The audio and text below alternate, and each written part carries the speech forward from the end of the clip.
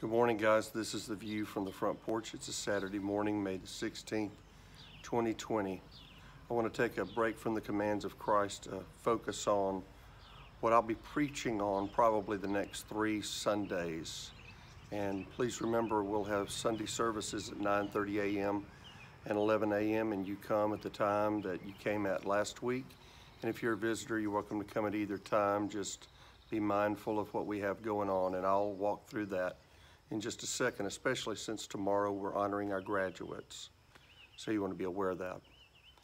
The next three Sundays, the 17th, 24th, and 31st, Lord willing, I will preach on why do bad things happen to good people. And you'll actually hear that question morph as we go along because we're going to answer tomorrow. We'll start to answer what makes a thing bad, what makes a person good, and do things really just happen to people?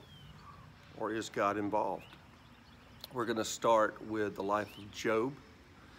And I want to share with you a passage from Job. If you've never heard or read the story of Job, I encourage you to at least read through chapters 1 and 2. Job suffered a lot. And I guess if we wanted to start with a definition of bad things, we'd start with what happened to Job. But listen to what it says in Job 1, verses 20, 21, and 22. And this is after the first wave of bad things that had hit Job. Then Job arose and rent his mantle and shaved his head and fell down upon the ground and worshipped and said, Naked I came out of my mother's womb, and naked shall I return. The Lord gave, and the Lord hath, has taken away. Blessed be the name of the Lord. In all this, Job did not sin, nor charged God foolishly. How do you respond to the bad things that happen in your life? Really, that's the key, isn't it? I mean, at, at some point, we're all going to deal with bad things. We're all going to lose a loved one. We're all going to go through a difficulty. It's rare, the life that doesn't suffer some form of struggle or suffering or trial or tribulation. And if it does, if nothing else, there is the reality of death that hits us all. So how do you respond? How do you respond to that? Well, Job helps us to see that. And part of that is worship. And I would ask you this, how has the struggle you've had challenged you to worship God more? Because at least for God's people and maybe for all people, one of the ultimate goals of suffering for God for us is that we worship him more.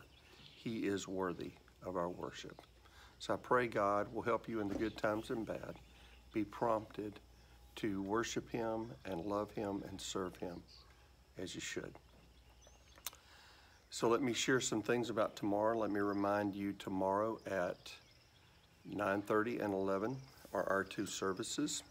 And we're going to go for a walk again real quick because it is kind of special tomorrow with our graduates coming on board.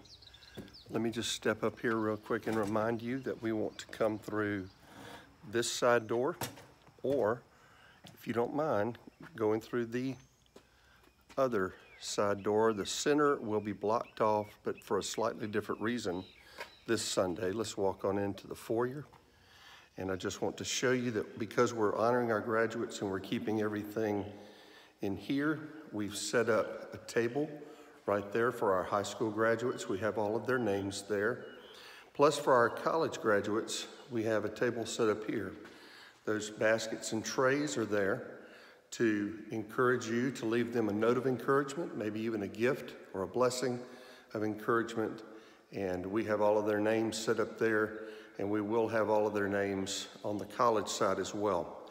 Let me also remind you that we still have the uh, the little church you can put your offering in. We have the hand sanitizer. We will have the masks for tomorrow, so please be aware of that.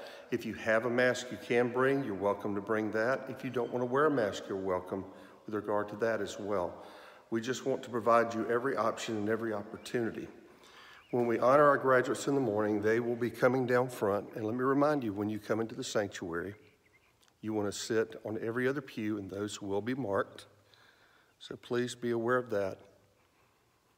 And at the beginning of our service, what we'll do is we'll honor our grads. We hope to be able to do that during both services and we'll ask them to come down front. We have Bibles, one-year Bibles to give to our high school grads, and a devotional book to give to our college grads. So I pray that God will bless you today, and I pray that you'll come prepared for worship tomorrow. And in spite of whatever happens in your life, good or bad, let's give God the worship that He deserves. God bless you, and hope you have a great Saturday.